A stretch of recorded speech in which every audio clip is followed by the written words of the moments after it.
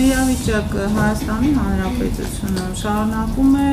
պահպանվել հանգիստ։ Այսօր մենք գրիպի հետ սուր շնչառական հիվանդությունների հետ կապված անհանգստանալու առիթ չունենք։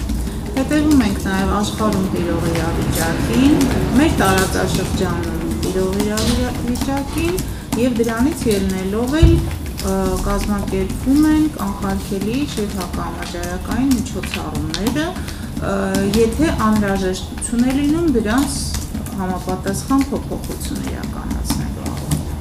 Ուրեմն ասեմ, որ Հայաստանի Հանրապետությունում մենք իրականացում ենք ներկայում դարձյալ շարունակում ենք շաբաթական մոնիտորինգը,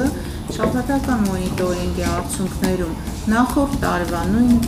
շաբաթվա, իսկ քանի որ ինքը սեզոնային հիվանդություն է, ինքը սեզոնը շաբաթական ընթացքով է իր դինամիկան ընթանում եւ մենք էլ դիտարկում ենք այդպես։